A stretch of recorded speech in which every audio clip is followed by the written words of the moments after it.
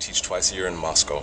I mean, everybody who comes to the class has no cultural connection to Ireland. I mean, they, you know, they just probably saw it on the TV, they saw the videos, they started teaching themselves.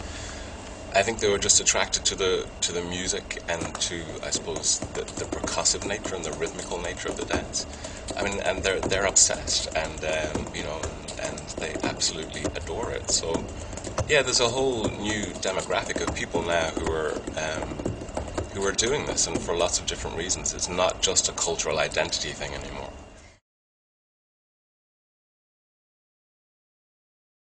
That's not necessarily a new thing. I mean, we would have kind of used microphones on our shoes at various points in some of the bigger shows, um, but uh, I just kind of started playing around a little bit more with that about five or six years ago. So, um, yeah, it's a, it's a big part of the show in terms of just having microphones strapped on, and then uh, a lot of the sounds. Um, uh, or footfalls are then really manipulated from the sound desk in a really complicated way that I even I don't really understand.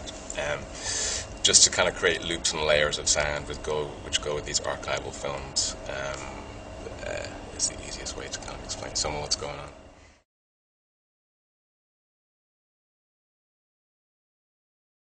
All these festivals, I mean, it's like in Dublin, we have the Dublin Dance Festival going on now, which is only the fourth time we've had it. I mean, they do raise the profile of the city in, in a way that maybe we don't even realize somehow. You know, even uh, it enters it enters people's kind of consciousness. I think you know. I mean, uh, lots of people I know in Birmingham who would never have any interest in dance know that this is kind of going on.